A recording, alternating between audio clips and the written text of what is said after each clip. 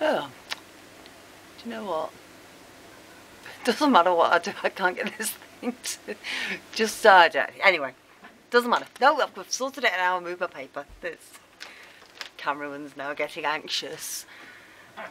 Okay, so this is about mineral nutrition in plants. and uh, plants need what we call macronutrients. So we're not going to conf, you know, we're not going to, even though the word is lovely, we're not going to worry about things like molybdenum. Oh, what a great word!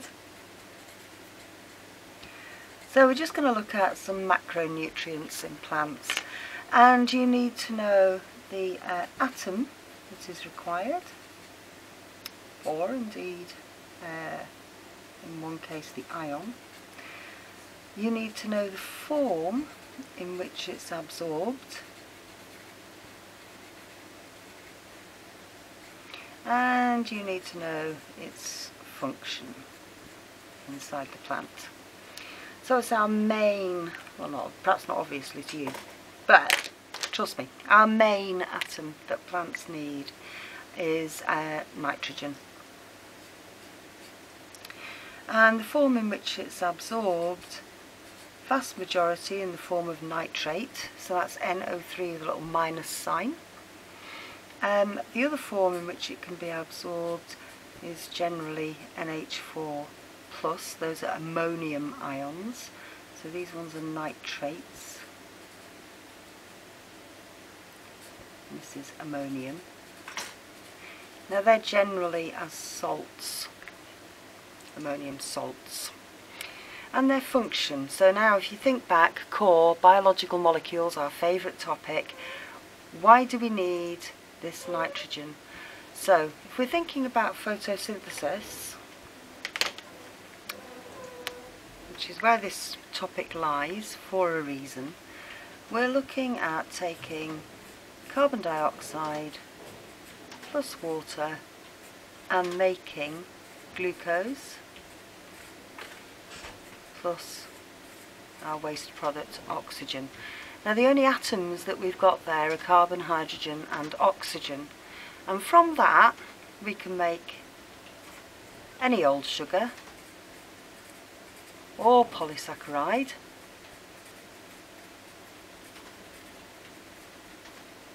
And of course with just carbon, hydrogen oxygen we can make lipids as well. So not a problem for plants but obviously if you're going to make a protein, you're going to need a nitrogen atom to make that amino group. So function is to allow the plant, it allows the manufacture of, and then you've just got a big list of stuff that's got nitrogen in. Uh, so amino acids, protein. Obviously make the amino acids, then make the protein. We've got the nucleic acids with their nitrogenous bases. ATP, which is a nucleotide with a nitrogenous base in. And of course chlorophyll, which is a huge chunky molecule with some nitrogen in it and some other stuff. So if you don't have any, then you can't make nucleic acids to do cell division with and you can't make proteins to make new cell chemicals with and therefore its major effect, a lack of nitrate in the soil, will cause very stunted growth. And this is why farmers add uh, nitrogen fertilisers onto the soil to encourage the plants to be able to make more amino acid proteins, do more cell division. So our next macronutrient that we're going to deal with is phosphorus.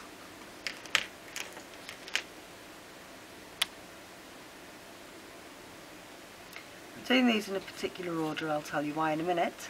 They're taken in in the form of phosphate ions and again just thinking sort of synoptically, bit of core, what do we need them for, what do plants need them for?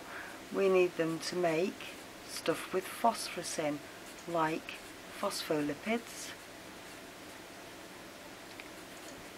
and ATP. So again, you know, if you can't make any phospholipids, then your cell membranes, you're not going to be able to make new cell membrane for new cells.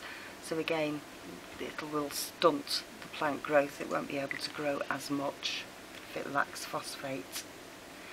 We've then got uh, lovely old potassium. Chemical symbol K. I know, but how does that ever make sense? But it is. Taken into in uh, chemistry, nonsense. Taken in in the form of potassium ions. Now again, synoptically, thinking about the role of potassium ions in plants, uh, their function is to lower the water potential in guard cells.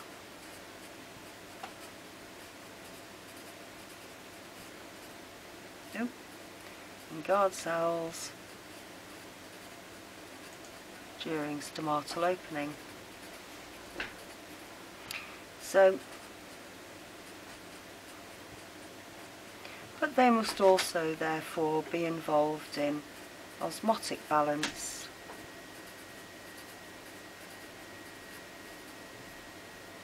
in a, a, range of situations and therefore they're probably involved in supporting plant and maintaining turgor of the plant. So NPK, when I was doing geography at school we did NK, NPK fertilisers.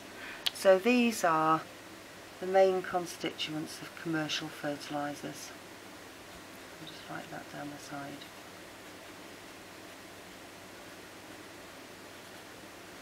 And for some reason NPK fertilisers just sort of trips off the tongue so it's quite easy to remember.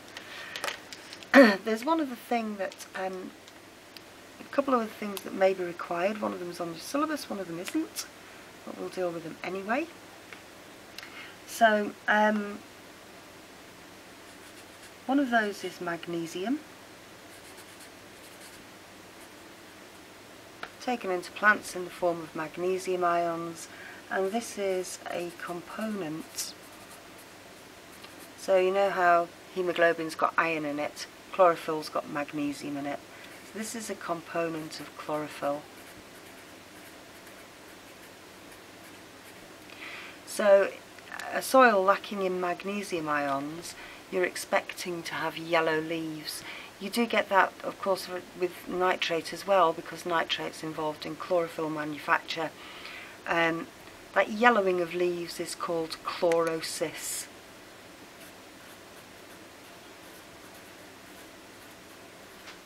and because the ions are all mobile around the plant it, all, it tends to affect the older leaves first. So the chlorosis will start in those sort of older leaves at the bottom of the plant. They'll sort of go yellow then brown then die as they, they move the magnesium to younger tissue and lastly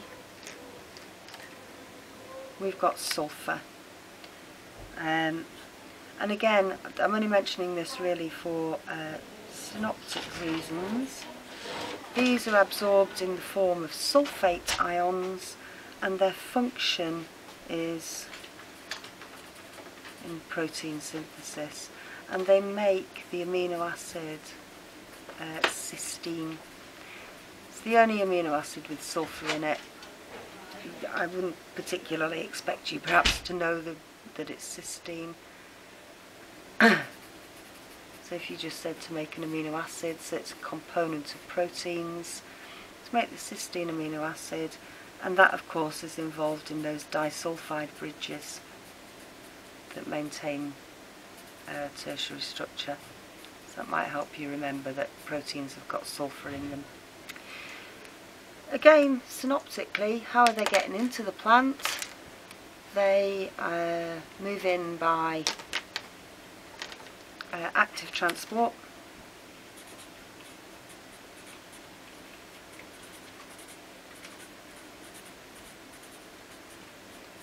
to the root hair. They are then moved across between cells.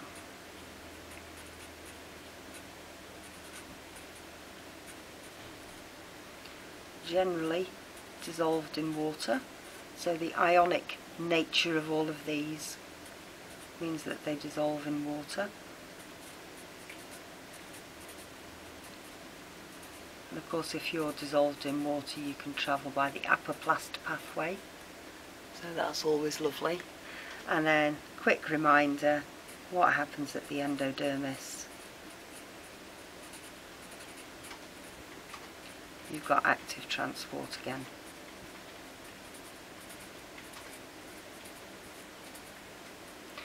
And then of course they go straight up the xylem, cohesion tension,